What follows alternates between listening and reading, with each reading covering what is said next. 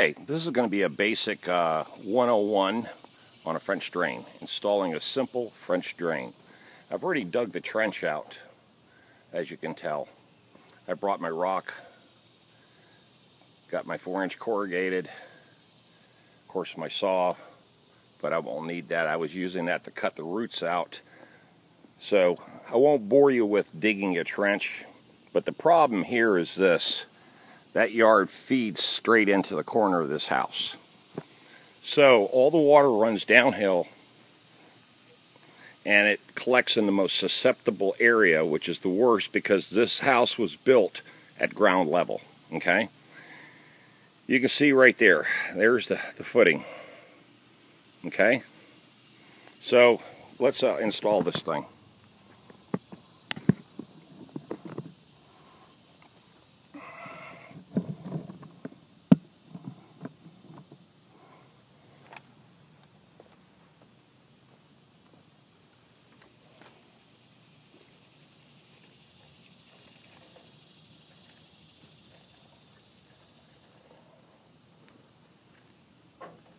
Okay, the first thing I want to do, of course, is put this cap on the end of the gutter.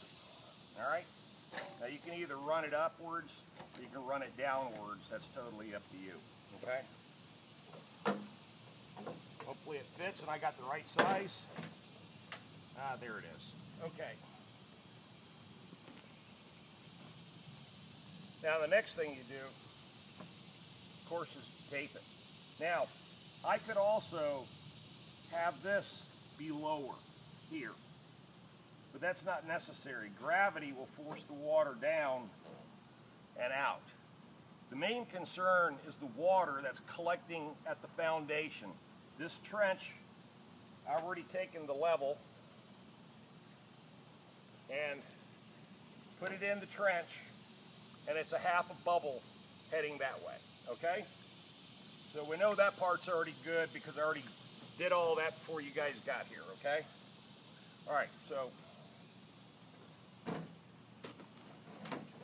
get this started here. Hope you're enjoying these how-to videos. I've been getting a lot of requests for them, so I decided to start doing them. A lot of you guys are shocked to even see me actually working.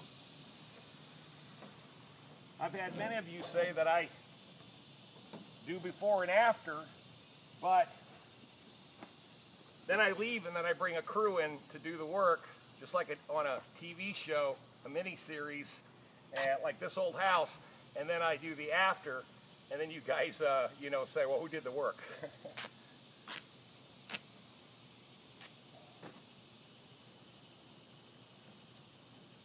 the new guy's supposed to be showing up in about a couple minutes too.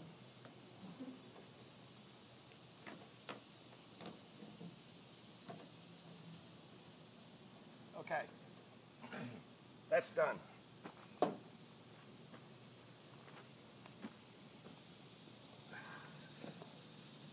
There we go. Good deal.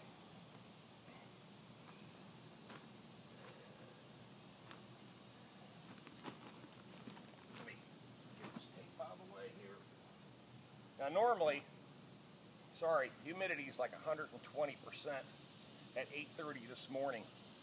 Ah, hopefully my volume, you can hear me. I got the camera about 10 foot away so you can see this. So now the idea is to pour rock, pour rock into the uh, trench and then fill this up. Now I got some metal edgers that I'm going to border this land right here.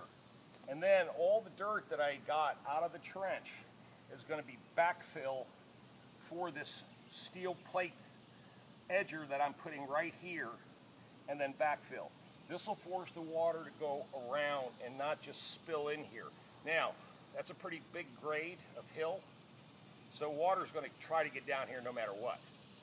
But I'm going to do everything in my power to make it move that way. So that's the idea of getting water to divert away from the foundation. This was the bad idea from the get-go. So you know, what can I say? But let's uh, put a bag in there.